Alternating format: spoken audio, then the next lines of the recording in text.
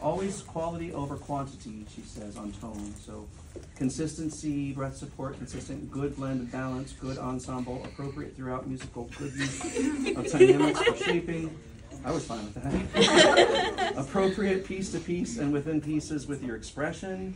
Your contrasts were noted. Good technique, good articulation, good posture. Bass chorus, enjoyable performance this afternoon. Lots of good things happening.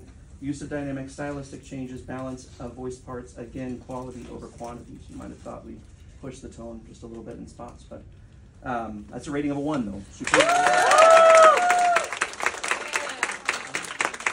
And then um, this is Joseph Thrower. This is a focused tone with appropriate breathing and vowel placement in all ranges and registers. Open, resonant, and full ensemble tone in all registers.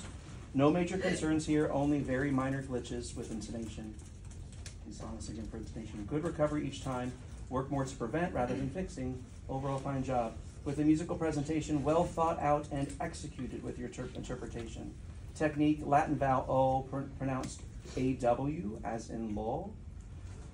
Common mispronunciation, O, as in the word boat, and word examples, nobis, nobis. Um, be careful to always attach a vowel or some type of vocal utterance to all final voiced consonants. Those are the shadow vowels that we were working on. Di, duh, vi, v, di, v. Just putting that little vowel in there. Bravo, gentlemen. You were very well prepared today and executed masterfully. Congratulations. What a pleasure to hear you. And that's a one, two.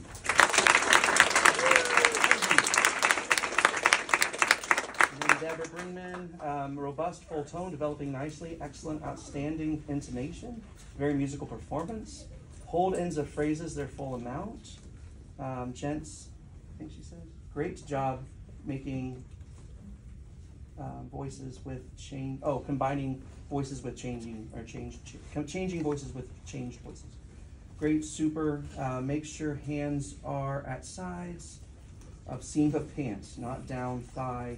This will open up and allow the diaphragm to work more fully. Bass choir, you are a very musical group who is receiving excellent training.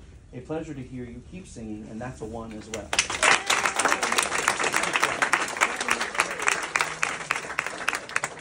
And then bass chorus on the sight reading, I won't read all the notes because they're kind of blah, but it says, Marietta, well done. Everyone is engaged, thinking and listening. You are receiving excellent instruction. Carry on. Great to hear you, and that's a one.